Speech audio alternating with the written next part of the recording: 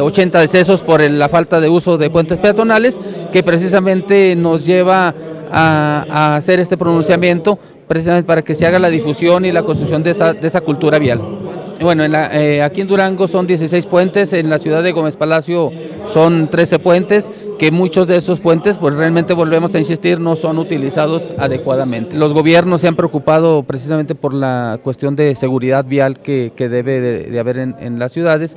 y, en la dinámica del crecimiento y el desarrollo de las ciudades, bueno, pues es necesario precisamente tener y contar con estos puentes peatonales, pero sin embargo hay una omisión en el uso de, de los puentes que es necesario que nuestras políticas públicas sean difundidas, sean construidas y que realmente lo que se construye para bien de la, de la sociedad pues tenga un uso adecuado.